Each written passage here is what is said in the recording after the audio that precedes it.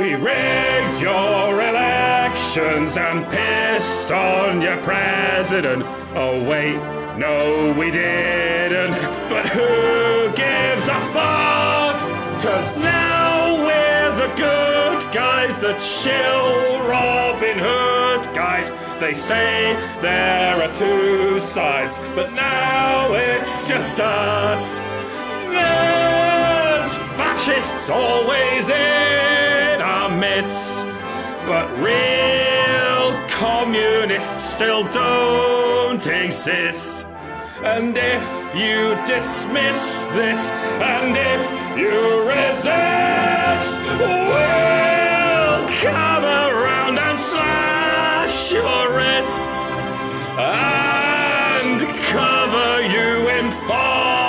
Fox's piss.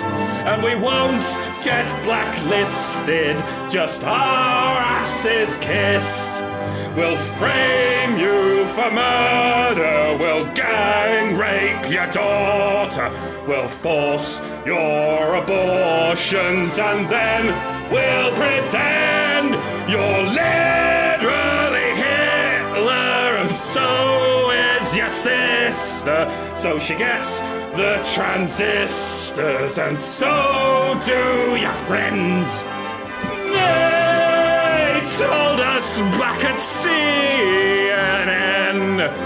we're infested with some strange white men. That's how 40,000 mad red shirts were sent to violently cause mayhem and turn the place into Phnom Penh. And we'll do it again, and we won't be condemned. We rave, we harass, we will call you a Nazi.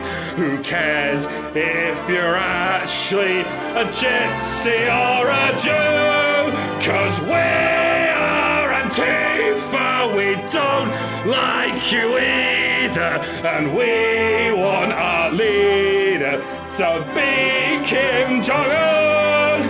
Society has gone to shit, but socialism had nothing to do with it except for the kind with a national pride. Rich men have got to go, except of course for Vladimir and Uncle Joe. Gee, I hope no one farts on the Mo.